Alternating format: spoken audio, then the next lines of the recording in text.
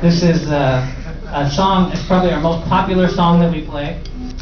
It's uh, called Sing Sing Sing, and we had it lifted off the recording by uh, Sid Potter. It's recorded by Eddie Daniel, and features Jack and Love back there on the drums.